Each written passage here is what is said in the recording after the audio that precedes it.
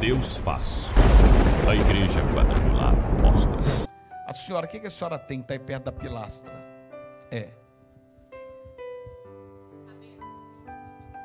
A senhora está com dor de cabeça? Eu tenho sinusite, estou quase morrendo de dor de cabeça. Está doendo a sua cabeça agora?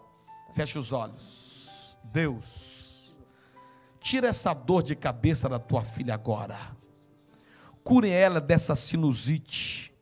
E que o teu nome seja glorificado nessa manhã. Receba o teu milagre. Dor desapareça. No nome de Jesus. Amém. Procura a dor aí agora, a senhora vai ter uma surpresa. Pode procurar. Passou, Cadê a dor? passou. Quanto tempo você estava com esse problema?